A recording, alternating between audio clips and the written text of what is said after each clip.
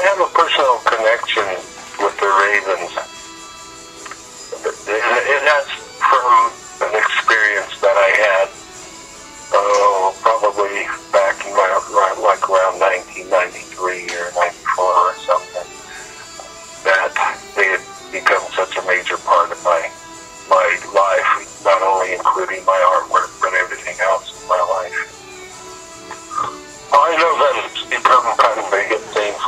People and say, uh, is your spirit animal?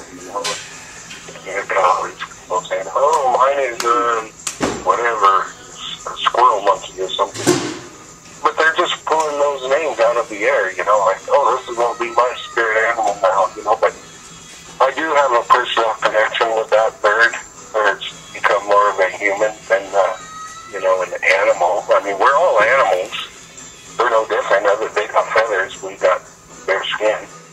With the sort of relationship that we, uh, and some people more than others, you know, have with the environment, the surroundings, and how we're all connected connected with other worlds, you know, and that one also has to deal with, you know, what, what I experienced personally. So you, that man has so become a part of, the raven has so become a part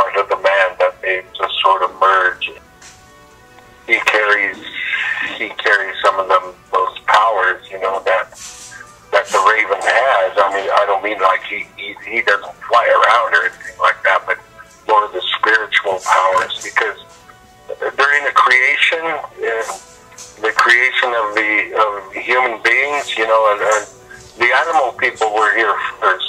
During the creation of the human beings, how we were taught was that each animal was given a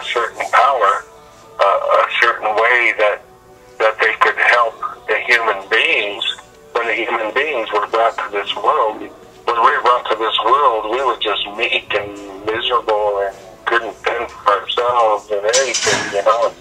And, so the animal people were given uh, certain certain powers and certain directions on how, how they should how they should uh, uh, help the, the human beings. And over on the over on the uh,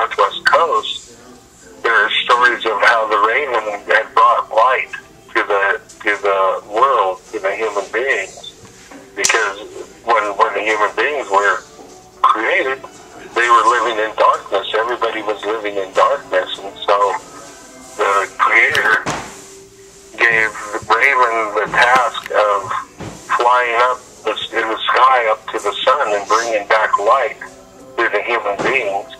And when he first got sent up, he actually had white feathers, but because he had he had gone had to go into the sun, that they scorched his feathers and he became, you know, black or dark.